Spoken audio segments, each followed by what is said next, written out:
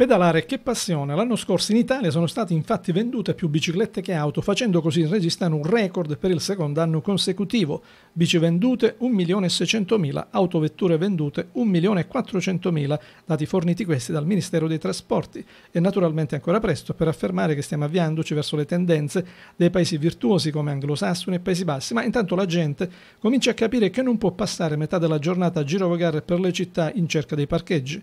La crisi economica naturalmente ha fatto la sua parte in questa inversione di tendenza con le immatricolazioni di auto che hanno subito l'anno scorso un calo del 5,5%. Chi lascia ogni tanto l'auto in garage per la bicicletta può anche fare un piccolo sacrificio, ma alla fine è una scelta non difficile se pesano le convenienze, perché c'è la possibilità di bypassare il traffico cittadino nelle ore di punta e soprattutto c'è il risparmio di benzina che con i tempi che corrono non è certo secondario.